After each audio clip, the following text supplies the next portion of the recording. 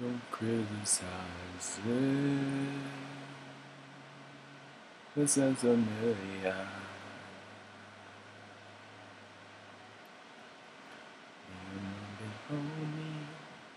The smoke colada.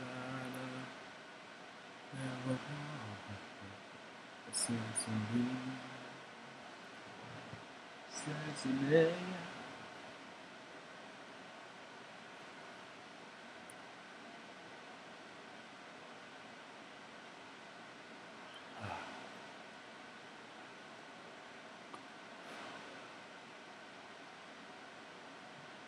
This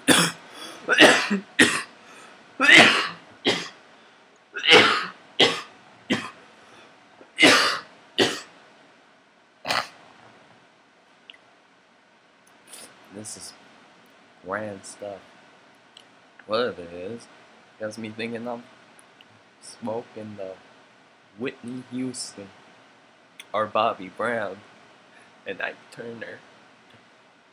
So, um, today the video I'm posting from Photo Booth and then onto my channel is about Sesame.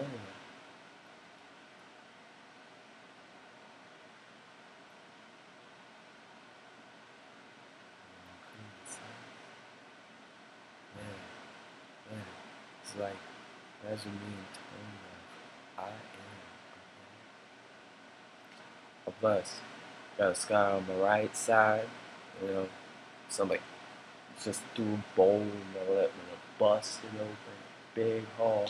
I tried to retaliate, like slap, slap the person, but I got my head slammed into the wall and woke up in the hospital, stitches on my lip. I was about like, mm, how old? Damn, tw in 10 years,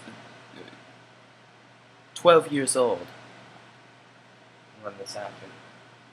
You see? A scar when I was 12. Uh, so the doctor sewed me up and all that. Well, my scar's on the right side, you know.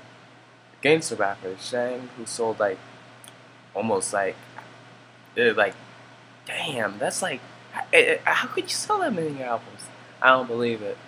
I'm calling shenanigans. You know? You know, Shane got his scar on the left side, right?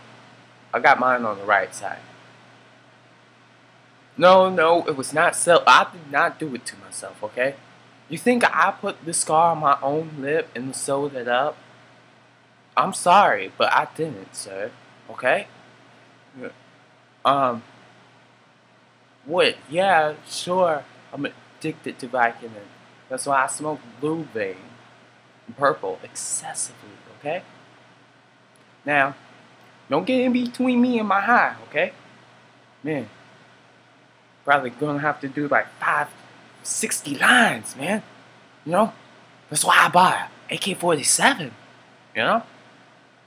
But my scar's on the right side, alright, homie? Peace.